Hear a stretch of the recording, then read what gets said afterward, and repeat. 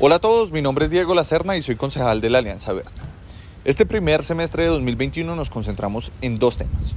Uno, en aprobar un proyecto de acuerdo que rescata el espíritu de las estrellas negras en Bogotá. Algunos de ustedes recordarán una campaña que fue muy exitosa donde se usaban estrellas negras para marcar los sitios donde había muertos en siniestros viales. Queremos rescatar el espíritu de esa campaña actualizándola tal vez con un símbolo distinto, marcando los sitios donde mueren animales también. Y logramos que ese proyecto de acuerdo se aprobara en primer debate en la comisión del plan.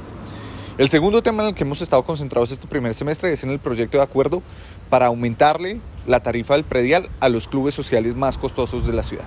Increíblemente, en Bogotá, un club social paga una tarifa de predial menor a una cancha de tejo o cualquier establecimiento comercial.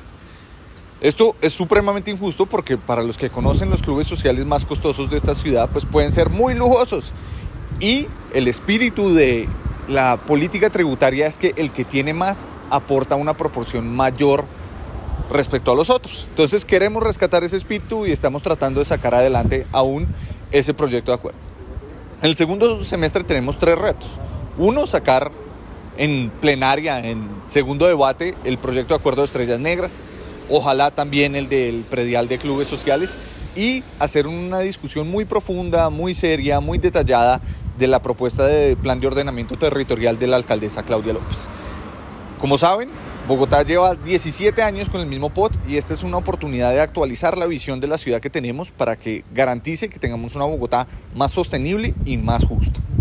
Quiero agradecerles a todos por estar pendientes de esta rendición de cuentas y ojalá sigan pendientes de nuestro trabajo que hacemos con toda la seriedad y todo el cariño por una ciudad que adoramos.